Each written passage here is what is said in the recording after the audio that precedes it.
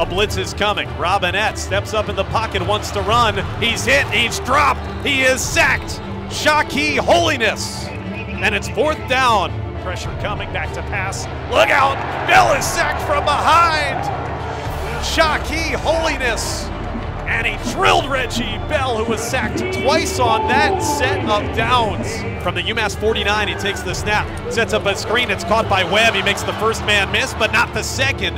Sha-Ki Holines tackled him just a yard past the line of scrimmage. Fourth and 10 coming up, and Holines has made some big plays in this third quarter.